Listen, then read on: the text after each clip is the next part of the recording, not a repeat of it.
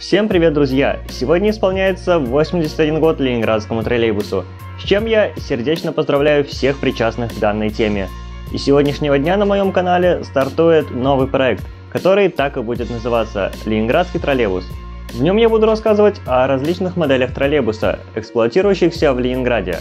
Стоило бы начать с самого первого в Ленинграде троллейбуса – ЕТБ-1, но мы его временно пропустим. И сегодня я расскажу про ЕТБ-2.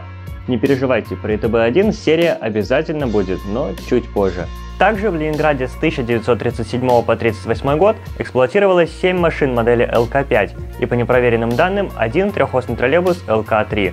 Но 26 декабря 1937 года троллейбус ЛК-5 упал в реку, вследствие чего погибло 13 пассажиров. Сами же ЛК после этого инцидента были признаны небезопасными и моментально выведены из эксплуатации в городе на Неве. Из-за столь малого периода эксплуатации и минимальной информации о троллейбусах этой модели, подробно на них мы останавливаться не будем и перейдем сразу к ЕТБ-2.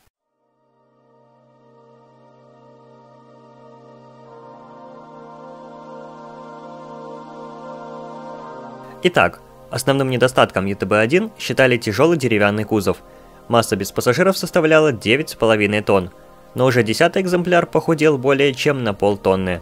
Также слабыми местами стали силовая передача, карданный вал, червячный редуктор и полуоси. После непродолжительного срока службы часто выходили из строя эти важные узлы, что ухудшало эксплуатационные показатели троллейбусов – и чтобы разом избавиться от всех недостатков, в январе 1937 года на Ярославском автомобильном заводе началась разработка модели ЕТБ-2, а уже в ноябре того же года приступили к серийному производству. Впереди появились наружные маршрутные фонари, маршрутный указатель над лобовым стеклом и отдельная дверь в кабину водителя, находящаяся слева. В салоне кабина была изолирована по всей ширине кузова. Это позволило разместить в ней высоковольтную электроаппаратуру, защитив от проникновения влаги. В силовой передаче троллейбуса упразднили трансмиссионный дисковый тормоз, заменив его тормозом на задние колеса, а в связи с этим убрали промежуточный карданный вал.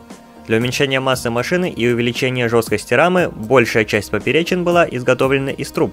Таким образом, массу удалось снизить до 8350 кг. Но позже выявилась недостаточная жесткость крыши под основанием токоприемников, вследствие чего выявился прогиб крышевых дуг кузова и протечки в сырую погоду. Также каркасы пассажирских сидений, несмотря на большой вес и громоздкость, быстро ломались из-за неудачной конструкции. С конца 1937 года троллейбусы стали поступать в такие города, как Москва, Ленинград и Киев.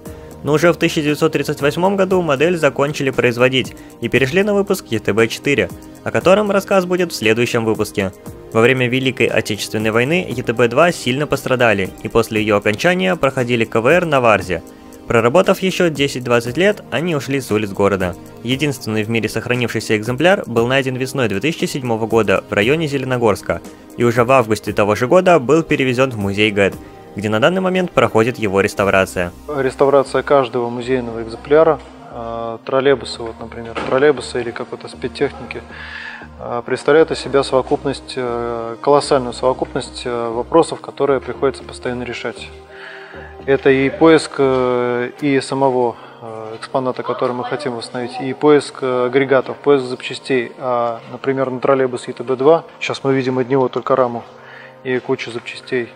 А, этот троллейбус был выпущен в 1938 году, и разумеется, что на сегодняшний день найти на него агрегаты, запчасти какие-то практически невозможно. На данный момент вот это состояние троллейбуса реставрации мы называем как бы точкой отсчета, то есть тот момент, когда мы разобрали троллейбус до такого состояния, когда понятно, что разбирать дальше некуда, мы можем это почистить и уже на самое основное, что есть на троллейбусе, вот этот от пескоструйную очищенную раму, уже обратно собирать агрегаты, вешать мосты, э, комплектовать электрооборудованием, потом начнется, я думаю, что уже, наверное, через месяц-два реставрация деревянного каркаса кузова, то есть полностью оригинал никакого металли, металлических усилений, никаких э, новодельных э, сварных конструкций тут у нас не будет. Здесь будет все полностью оригинале.